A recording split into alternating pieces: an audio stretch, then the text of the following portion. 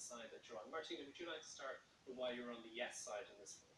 Well, I think that there's a cruel attitude towards women in this country, um, which is why we've had so many scandals from Magdalene laundries to symphysiotomies to forced adoptions. And religious control has been used as a weapon against women, unmarried mothers, and children were stigmatized. Women's bodies were regulated by church and state, and society colluded with it. And this vote is a cultural turning point. I think we can't overestimate how important it is. Are we a mature republic or not? Are we a democracy willing to give people choices even if we don't agree with them or not?